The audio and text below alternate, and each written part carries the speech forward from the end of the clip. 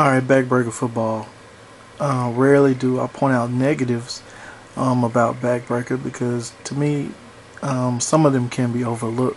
But here's one ne one negative that cannot be overlooked: um, the absence of a catch button, or you know, basically the user cannot try for an interception.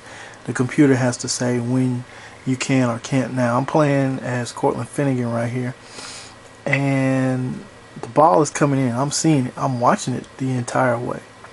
I see the receiver. Um, he's still in my sights. And right here, I start to move towards the ball. And I want to pick this ball off.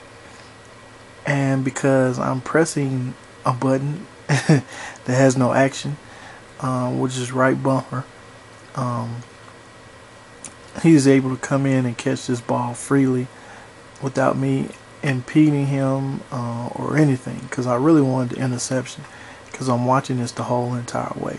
So one thing that needs to be in Backbreaker 2 um, is a user catch button. And RB would work really well because um, I'm holding the focus button right now. And then if you press RB, that would be the catch. Maybe um, Y or LB to swat. But um, there, use, there needs to be a user catch button and Backbreaker 2.